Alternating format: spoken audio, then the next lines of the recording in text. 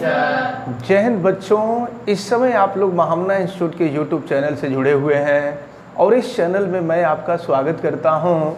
आज हम लोग क्लास एलेवेंथ भौतिक विज्ञान, हिंदी माध्यम सेकंड चैप्टर मात्रक एवं मापन के अंतर्गत हम यथार्थता, यानी परिसीजन के बारे में पढ़ने जा रहे हैं। यथार्थता क्या है इसको जानने से पहले मैं आपको बता दूँ कि अगर आप चैनल पर नए हैं तो चैनल को सब्सक्राइब कर लीजिए।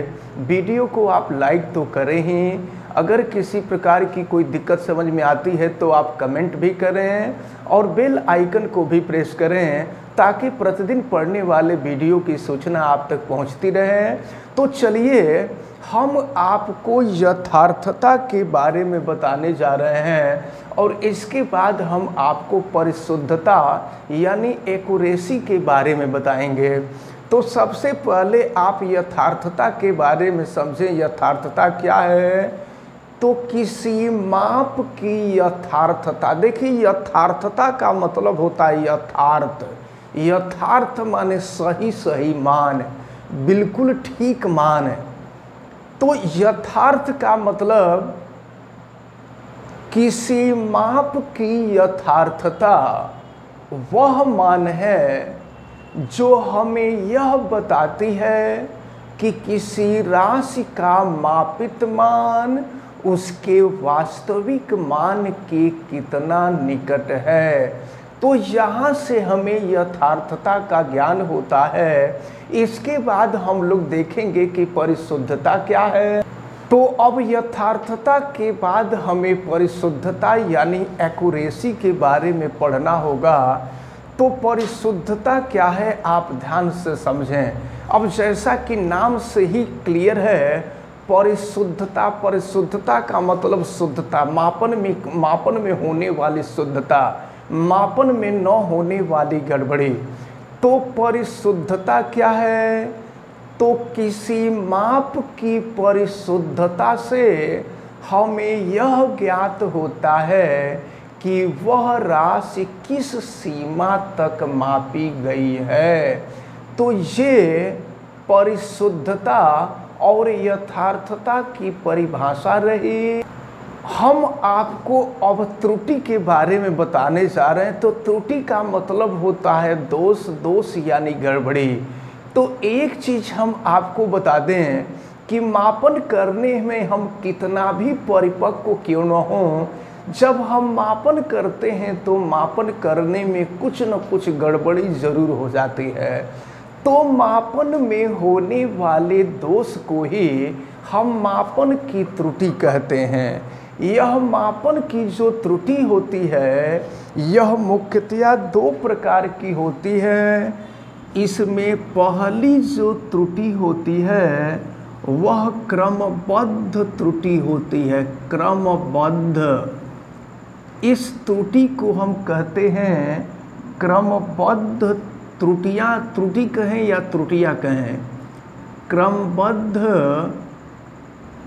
त्रुटियाँ, और इसके बाद दूसरी जो त्रुटियाँ होती हैं, उनको हम कहते हैं यादृच्छिक।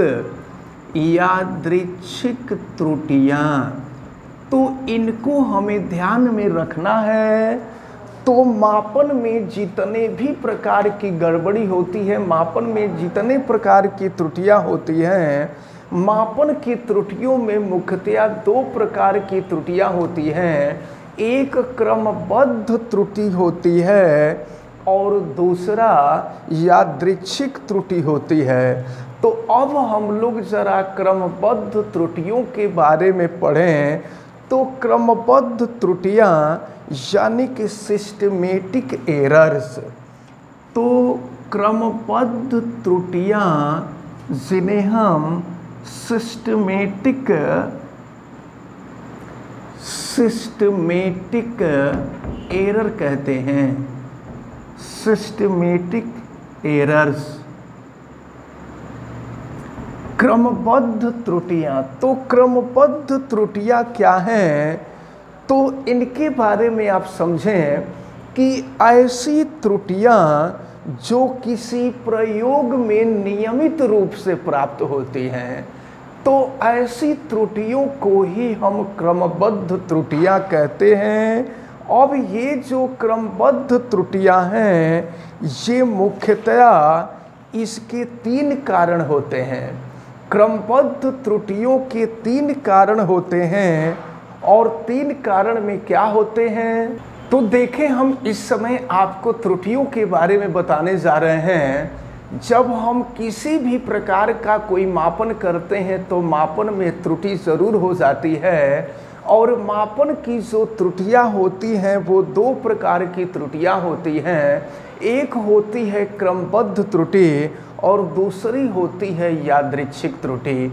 क्रमबद्ध त्रुटि में होता ये है कि ऐसी त्रुटियाँ प्रयोग के दौरान नियमित रूप से प्राप्त होती हैं, उन्हें हम क्रमबद्ध त्रुटियाँ कहते हैं और इन क्रमबद्ध त्रुटियों के प्रमुख तीन स्रोत होते हैं। तीन वजह से क्रमबद्ध त्रुटियाँ होती हैं। जिनमें सबसे पहले आता है यंत्रगत त्रुटियाँ। यंत्रगत त्रुटियाँ मतलब अगर यंत्र में ही कुछ गड़बड़ी हो तो किसी चीज़ का मापन सही तरीके से नहीं किया जा सकता तो यंत्रगत त्रुटि तब प्राप्त होती है जब यंत्र में किसी प्रकार की कोई गड़बड़ी हो। इसके बाद दूसरा आता है प्रायोगिक तकनीक की अपूर्णता। जो प्रयोग जिस तकनीक से हम प्रयोग कर रहे हैं, वह तकनीक ही पूर्ण रूप से काम न कर रहा हो तो प्रायोगिक तकनीक की अपूर्णता के कारण क्रमबद्ध त्रुटियाँ आती हैं और इसके बाद होता है व्यक्तिगत त्रुटियाँ। तो व्यक्तिगत त्रुटियों में क्या होता है? कि हम नापने में ही गड़बड़ी कर देते हैं, या तो जानबूझ के गड़बड़ी करते हैं, या अनजाने में गड़बड़ी कर देते हैं। अब जैसे गड़बड़ी करते करते, जैसे मान लीजिए गिनते जा रहे हैं one two three four five इसके बाद एट नाइन सेवन हो गया तो बीच में से एक, दो अंक गायब हो गया। तो इस तरह की जो त्रुटियाँ होती हैं, वो व्यक्तिगत त्रुटियाँ होती हैं, उसके जिम्मेवार हम खुद होते हैं। तो ये जो है क्रमबद्ध त्रुटियों के स्रोत रहे अब इसके बाद हम लोगों को यादृच्छिक त्रुटियों के बारे में पढ़ना है। अब हम दूसरे प्रकार की त्रुटियाँ, यानी कि यादृच्छिक त्रुटियाँ। यादृच्छिक का मतलब होता है रैंडम जिसको कहते हैं रैंडम जो गड़बड़ी अपने आप हो जाती है, जो गड़बड़ी सडनली हो जाती है। तो ऐसी त्रुटियाँ जिनके स्रोत का ज्ञान नहीं होता है, इसलिए यादृच्छिक त्रुटियों को आकस्मिक त्रुटियाँ भी कहते हैं। सामान्यतया ये त्रुटियाँ तब आती हैं जब प्रेक्षक लापरवाही करता है या इसके साथ साथ वातावरण में आंशिक परिवर्तन से वह अज्ञान होता है। तो अब हमें उम्मीद है कि आज के वीडियो में आपको मापन में त्रुटि से संबंधित जानकारी दी गई है और ये सभी जानकारियाँ आपको अच्छी तरह से समझ में आई होंगी। आप वीडियो को लाइक ज़रूर कीजिएगा। चैनल पे नए हैं तो चैनल को सब्सक्राइब भी कीजिएगा। बेल आइकन को आप प्रेस ज़रूर करेंगे। और अगर किसी प्रकार की कोई दिक्कत समझ में आती है तो आप हमें कमेंट करके बताएँगे। आप सभी लोगों का बहुत बहुत धन्यवाद। जय हिंद।